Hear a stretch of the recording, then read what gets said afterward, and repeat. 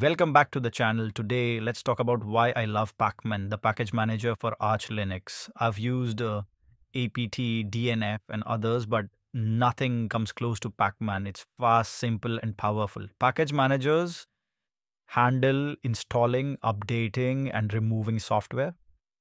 On Windows, you double click an installer.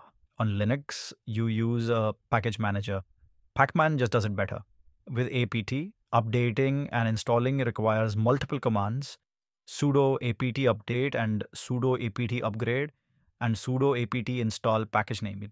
With Pacman, it's just sudo pacman dash syu package name. Clean, efficient, and easier to remember. Uninstalling is just a smooth sudo pacman dash r package name. Compared to APT, Pacman feels uh, lighter and quicker. It skips overchecking for every small issue, giving you speed and control. Perfect for users who know what they're doing. Then there's the AUR, Arch User Repository.